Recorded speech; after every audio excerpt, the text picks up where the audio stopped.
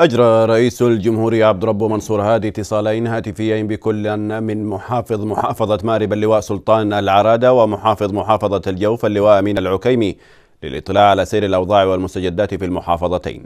وأشاد فخامة رئيس الجمهورية بالملاحم البطولية التي يسطرها المقاتلون من أبطال الجيش والمقاومة في وجه ميليشيا الحوثي الانقلابية المدعومة من إيران مؤكدا أن الشعب اليمني قادر على إفشال مشروع إيران التخريبي ومساعيها الخبيثة عبر أياديها في المنطقة.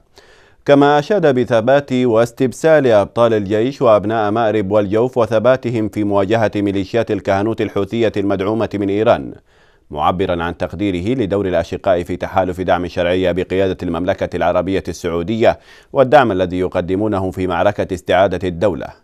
من جانبهما قدم محافظ مأرب ومحافظ الجوف كلا على حدة موجزا عن أوضاع المواطنين وسير العمليات العسكرية مؤكدين بأن أبطال الجيش والمقاومة مستمرون بعزيمة عالية في مواجهة ميليشيات الكهنوت الحوثية الانقلابية واستكمال التحرير وأكد محافظي مأرب والجوف أن رجال الجيش والأمن وأبناء مأرب والجوف سيظلون عند مستوى المسؤولية وثقة القيادة السياسية وأبناء الشعب اليمني بتلبية متطلبات المواطنين والبناء والتنمية والوقوف بصلابة لردع مشروع الكهنوت الحوثي المدعوم من إيران.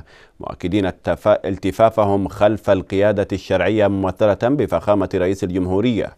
مشيدين بالدعم والاهتمام والمتابعة التي يقدمها فخامته لمحافظتي مأرب والجوف.